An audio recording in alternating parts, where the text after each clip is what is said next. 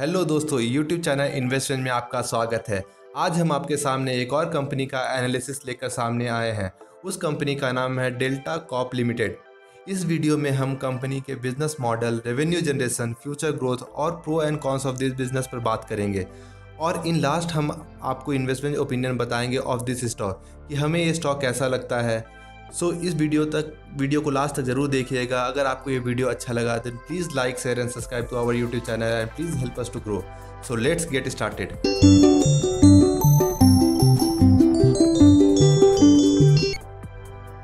Delta corp mainly gaming और luxury hotel business में है। गेमिंग में भी इनका स्पेशल फोकस कैसीनो और ऑनलाइन गेमिंग पे है। ई बिज़नेस सेगमेंट की बात करें तो फ़र्स्ट कंपनी के पास तीन ऑफशोर गेमिंग बोर्ड्स हैं इन गोवा और इनके नाम है Delta royal Delta jack Delta carnival लोग यहाँ कैसीनो खेलने जाते हैं और ये one of the biggest revenue contributor है। सेकेंड सेगमेंट की बात करें तो इनके पास five star hotel Delta suites है इन गोवा और साथ ही साथ वहाँ पे कैसीनो भी चलता है, जो ये खुद ऑपरेट करते हैं। देन थर्ड सिक्किम में होटल डेंजोंग रेजेंसी के साथ इनका टाइप है और वहाँ ये कैसीनो ऑपरेट करते हैं। ये होटल ये खुद ओन नहीं करते, बस ये कैसीनो ऑपरेट करने का लाइसेंस है। ये बहुत ही अच्छी बात है। क्यों? मैं आपको ये बाद में समझाऊँगा। एंड सेम केस नेपाल में नेपाल में भी है। यहाँ पे कंपनी का टाइप है to operate casino in five star hotel Marriott in Kathmandu दोस्तों फिफ्थ सेगमेंट की बात करें तो इनके पास फाइव स्टार रिजॉर्ट है इन दमन बेसिकली कंपनी को यहाँ पे कैसीनो बिज़नेस में इंटरेस्ट था। और अभी तक उसका परमिशन इन्हें नहीं मिला है। और ये पिछले चार साल से स्ट्रगल कर रहे हैं। छठे सेगमेंट की बात करें तो कंपनी के पास ऑनलाइन प्लेटफॉर्म अड्डा 52 है, जहाँ लोग पोकर और रमी जैसे कार्ड गेम खेलते हैं। और ये लीडिंग वेबसाइट है for poker in India company के पास अराउंड 20 परसेंट स्टेक है इन हारा प्ले हारा प्ले जस्ट लाइक ड्रीम 11 एक फैंटेसी स्पोर्ट्स वेबसाइट है। सेगमेंट वाइज रेवेन्यू की बात करें तो 2015 में कंपनी ने अपने रियल एस्टेट बिज़नेस से एग्जिट ले लिया था और अपना फोकस गेमिंग बिज़नेस पर लगा दिया। और जैसे कि आप देख सकते हैं कि more than 80 percent revenue gaming business से आता है और ये बिज़नेस ज़्यादा कैपिटल इंटेंसिव नहीं है अनलाइक होटल बिज़नेस तो that's a good thing individual segment की मार्जिन की बात करें तो कैसीनो बिज़नेस के मार्जिन बहुत हेल्दी और स्टेबल है। ऑनलाइन गेमिंग का मार्जिन पहले अच्छा था रिसेंट थोड़ा डिप हुआ है बट उसका रीज़न ये है कि कंपनी ने अपने मार्केटिंग में बहुत ज़्यादा खर्च किया है।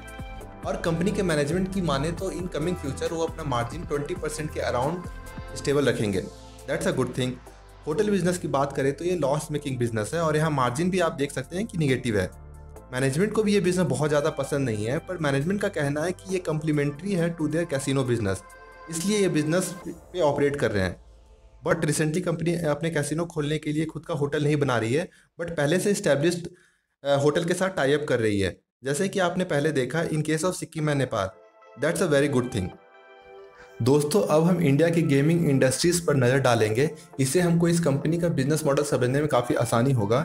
इंडिया में gaming industry is estimated around 60 billion dollar that's a huge number India में लीगल हॉर्स रेसिंग से इलीगल क्रिकेट बेटिंग बहुत कॉमन बात है।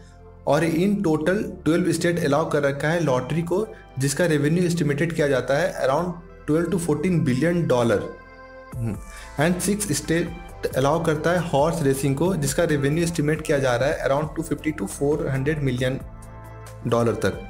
ओनली टू स्टेट्स गोवा और Sikkim and one union territory allow casino gambling estimated revenue है around twenty hundred million dollar का। And 95 percent share unorganised sector के पास है। अगर इन फ्यूचर अनऑर्गेनाइज से ऑर्गेनाइज में शिफ्ट आता है then Delta can be main beneficiary financial year 2016 and financial 2019 के बीच में कंपनी का रेवेन्यू दो टाइम बढ़ा एंड प्रॉफिट वही पाँच टाइम बढ़ गया। और ये बहुत अच्छी बात है।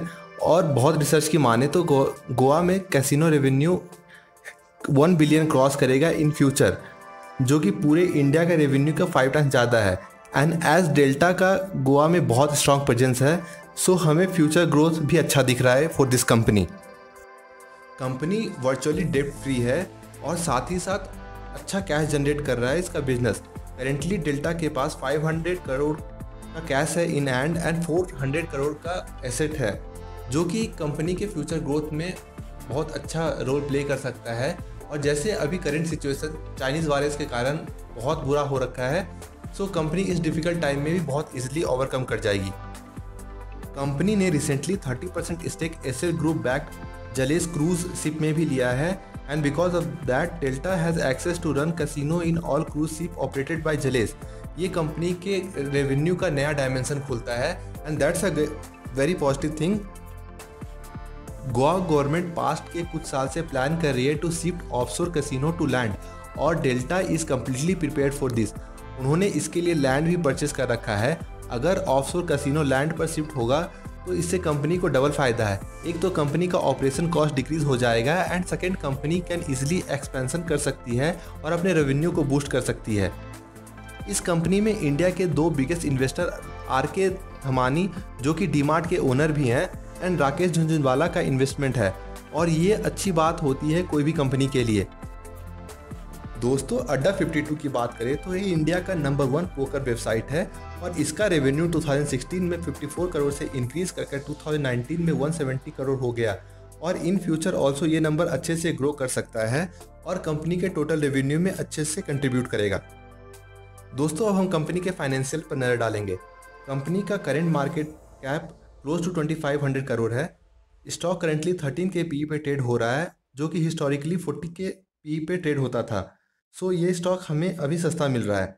52 भी हाई एंड लो की बात करें तो ये twenty two hundred twenty five rupees and fifty four rupees respectively है। स्टॉक प्राइस की मूवमेंट की बात करें तो 2018 में ये प्राइस क्लोज टू 400 था। तब से ये स्टॉक डाउन ट्रेंड में है और इनिशियल लॉकडाउन के टाइम स्टॉक ने फिफ्टी टू का लो बनाया था एंड करेंटली स्टॉक 90 और 100 के रेंज में ट्रेड कर रहा है। दोस्तों, अगर टोटल रेवेन्यू की बात करें तो ये 2016 में 240 करोड़ से इंक्रीज होकर 2019 में 580 करोड़ पे आ गया। देन इन फाइनेंशियल ईयर 2019-20 बहुत अच्छा नहीं रहा कंपनी के लिए, क्योंकि लास्ट का जो दो मंथ था फेब एंड मार्च वो मंथ बहुत बैडली इम्पैक्टेड हुआ due to Chinese virus but in future अगर सिचुएशन नॉर्मल हुआ then we can see same growth because of all new investment Delta has done margin की बात करें तो ये सेम पैटर्न फॉलो किया है as a revenue and reason भी उसका सेम ही है। Return on capital employed and return and equity की बात करें तो ये नंबर लेस देन 15 रहा है थ्रू आउट द ईयर और ये बहुत अच्छा नंबर नहीं है। But reason behind this is loss making hotel business and currently company ने जो एसेट लाइट मॉडल में इन्वेस्टमेंट किया है so we can expect this number to grow in future shareholding pattern की बात करें तो प्रमोटर के पास close to three three percent का स्टेक है फॉरेन इन्वेस्टर के पास 16 परसेंट एंड डोमेस्टिक इन्वेस्टर के पास 8 परसेंट का स्टेक है। बट निगेटिव थिंग ये है कि प्रमोटर का 11.2 परसेंट स्टेक गिरवी है और ये स्टेक प्लेस है इवन वेन कंपनी के पास 500 करोड़ का कैश है। That's really not a encouraging sign दोस्तों कैसीनो जो कि बेसिकली गैम्बलिंग है, ये कंपनी का मेन प्रोडक्ट है। और ये सिन प्रोडक्ट के कैटेगरी में आता है like cigarette and alcohol and that act as a big disadvantage for this company in past because of this reason company को बहुत प्रॉब्लम हो चुका है और इन कमिंग फ्यूचर भी हो सकता है। ये रिस्क तो हमेशा ही रहेगा इस बिज़नेस के साथ। कंपनी की मैनेजमेंट की बात करें तो personally investment is not big fan of that company ने अपने शेयर प्लेस क्यों रख रखे हैं, इसका कोई क्लियर आंसर नहीं दिया है। और इन पास्ट एक दो ऐसे डिसीज़न हैं जो कि हमें बहुत पसंद नहीं आया। चाइनीज़ वायरस के कारण भी कंपनी का रेवेन्यू बहुत बुरी तरह से इम्पैक्ट हो रहा है और हमें ये नहीं पता कि ये सिचुएशन नॉर्मल कब होगा और कंपनी अपना नॉर्मल ऑपरेशन कब स्टार्ट कर पाएगी। And because of this unpredictability company का स्टॉक प्राइस नीचे आ गया। फाइनल ओपिनियन की बात करें दोस्तों तो एज कंपनी सिन प्रोडक्ट में है and because of that risk तो हमेशा रहेगा। But investment personally like this high cash generating business model और फ्यूचर ग्रोथ भी हमें यहाँ काफ़ी दिख रहा है। एंड कंपनी के पास फ़र्स्ट मूवर एडवांटेज भी है. So investment will invest in this stock but not in huge quantity as there is always risk max to max 5 to 7 percent of the portfolio. So, our final rating for this stock is 3 star. Good but little risky हम इस stock को four star rate कर सकते हैं but because of the risky business हम इसको तीन star rate कर रहे हैं.